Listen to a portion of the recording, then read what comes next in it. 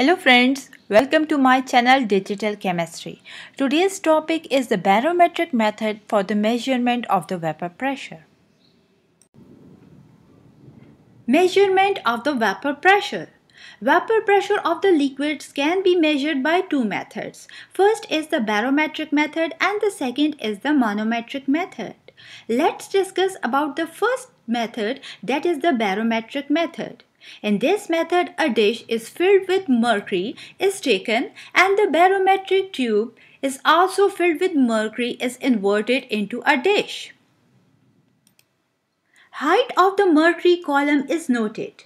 Now, one or two drops of the test liquid are introduced into the barometric tube through its lower end by the help of the dropper.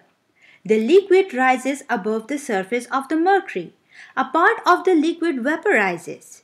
Due to the pressure exerted by the vapors, height of the mercury columns falls and when becomes constant it is noted.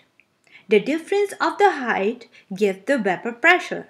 Although this method is very convenient but it is not much accurate.